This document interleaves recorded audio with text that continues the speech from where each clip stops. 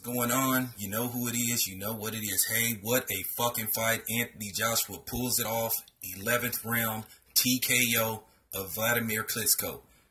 This man came from adversity. He won the first five rounds. He got knocked down. You know, he looked like he was in deep trouble. He lost the last three rounds going into round nine.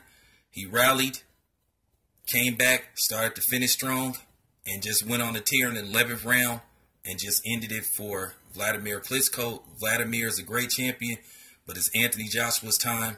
He did what he needed to do. He showed the heart of a champion. Anthony Joshua is the real deal. Even though he gassed out during the later, the early uh, rounds, Anthony Joshua is the real deal. I'm out.